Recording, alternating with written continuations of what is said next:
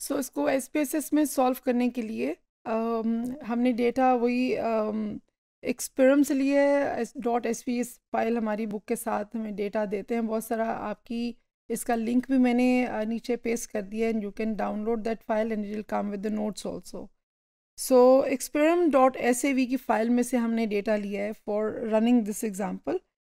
in this example we will compare the scores on a fear of statistics test administered before and after an intervention so हमने two times पे fear of statistics calculate किया है before intervention and after intervention and we want to find out is there a change in the scores on a fear of statistics test from time 1 to time 2.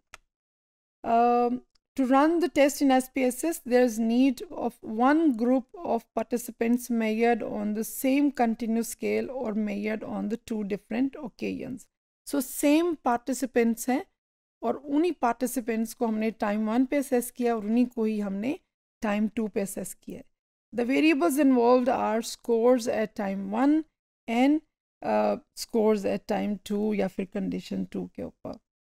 So let's uh, go back and solve this in SPSS and then come back to this tutorial. So हमने एक्सपेरम का data जो मैंने आपको बताया है ये हमारे पास मौजूद है। इसके अंदर हमारे पास ये वेरिएबल्स uh, हैं और हमने कहा है कि हम इसके अंदर टाइम वन के ऊपर और टाइम टू के ऊपर फियर देखेंगे कि कैसा है और फिर उसमें हम फाइंड आउट करेंगे कि क्या है। तो दिस इज़ द लेबल के अंदर टाइटल दिया हुआ है। Fear of start time one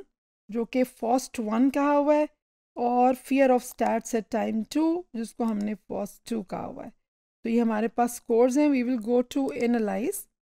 we will go to non parametric and then we will go to legacy dialog, and then we will select two repeated samples. और जब हमने to repeated samples कर लिए तो हम इसके अंदर दोनों वेरिएबल्स को सेंड करेंगे। Fear of start time one और फिर fear of start time two और हमने इधर विलकॉक्सन ऑलरेडी इसका चेक हुआ हुआ है। ऑप्शंस में हमें डिस्क्रिप्टिव क्वोटाइल्स की ज़रूरत नहीं है। Simple let's leave things how they are and let's calculate हमारा क्या वैल्यू देता। और जब हम ओके okay बटन हिट करेंगे तो it will give us Wilcoxon sign rank test की वैल्यू जिसके अंदर पहले वो नेगेटिव रैंक्स और positive ranks fear of start time two और टाइम वन के ऊपर कैलकुलेट करता है और फिर उसके अंदर मीन रैंक्स हमें देता है। इसके बाद हमारी जो main value where we should be thinking about is the fear of start time two fear of start time one के ऊपर हमारी जो वैल्यू जी की है that is minus four point one eight और हमारी सिग्निफिकेंस वैल्यू जो है वो है point zero zero zero so आपकी वैल्यू टेस्ट स्टिस्टिक वैल्यू जो कि विलकॉक्सन साइन रैंक टेस्ट के ऊपर है that is minus four point one eight और पॉइंट ज़ीरो ज़ीरो का मतलब है कि the value is highly significant so we will reject the null hypothesis और नल हाइपोथेसिस में हमने क्या कहा था कि टाइम वन और टाइम टू के ऊपर फियर ऑफ़ स्टेटिस्टिक्स की रैंकिंग में कोई फ़र्क नहीं होगा। लेकिन इफ़ वी रिजेक्ट उसका मतलब है कि टाइम वन से टाइम टू के दरमियान आपकी सिग्निफिकेंट डिफरेंस है फियर ऑफ़ स्टेटिस्टिक्स के स्केल के ऊपर। Let's go back to this tutorial इसके अंदर मैंने वन बाय वन सारा ऐड कर दिया है कि हम किस तरह से we will go to analyse then non parametric then legacy and then we will select two paired sample आपने सेलेक्ट किए। उसके बाद uh, हमने फियर वन और फियर टू को टाइम वन और टाइम टू के ऊपर सेलेक्ट करके सेंड किया। और फिर उसके बाद हमने विलकॉक्सन को चेक किया और हमने ओके का बटन हिट किया। डिस्क्रिप्टिव्स के अंदर क्वार्टाइल्स वैसे आप रन कर सकते हैं, लेकिन उसमें हमने चेक नहीं किया। सिंपल हमने कंटिन्यू किया और ओके बटन हिट किया और ये हमारे पास डिस्क्रिप्टिव्स आ गए, जो कि हमें क्वार्टाइल्स देते हैं। क्वार्टाइल्स बेसिकली किसी भी डेटा को जब हम मीडियंस कैलकुलेट करते हैं या जब हम नॉन पैरामेट्रिक टेस्ट की बात करते हैं तो हमारे पास यूजली क्वार्टाइल्स होते हैं। Quartiles are the ranks basically. So twenty fifth percentile के ऊपर फिफ्टियथ और seventy fifth so quartiles divide the data into four equal parts इसलिए हमारे पास तीन क्वार्टाइल्स आ जाते हैं Q one Q two and Q three और उसके ऊपर उसने आपके दे दिए हैं कि आपका कितना डिस्क्रिप्टिव स्टेटस आपकी मीडियन वैल्यू कितनी थी? Fear of starts at time one और fear of starts at time two के ऊपर. सो मीडियन वैल्यू अगर आप देखें तो टाइम वन के ऊपर फोर्टी थी और टाइम टू के ऊपर आपकी थर्टी एट वैल्यू है, जिसका मतलब है कि कम हुआ है आपका fear at from time one to time two और फिर उसके बाद हमारे पास जी की वैल्यू और उसके साथ एसोसिएटेड सिग्निफिकेंस वैल्यू और फिर हमने बात कर ली है कि अगर ये पॉइंट ज़ीरो फाइव से कम है तो फिर इसका मतलब वो सिग्निफिकेंट है और हमारे यहाँ पे रिज़ल्ट जो है वो स्टेटिस्टिकली सिग्निफिकेंट ही आ रहे हैं। So how we will be reporting the effect size for this test it can be calculated using the same procedure that we use in the Mann Whitney U test कि हम जी की value को divide करते हैं N पे। लेकिन एक फ़र्क इसके अंदर है कि हम वहाँ पे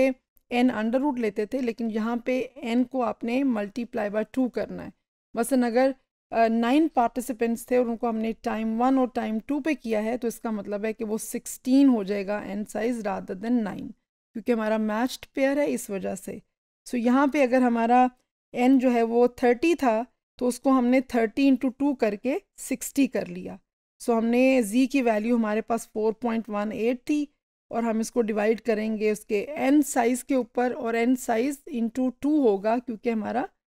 रिपीटेड मेयर है। तो हम उसको कैलकुलेट करें तो हमारे पास आर की वैल्यू पॉइंट फाइव फोर आ जाती है जो कि लार्जर इफ़ेक्ट साइज़ को इंडिकेट कर रहा है। So larger effect size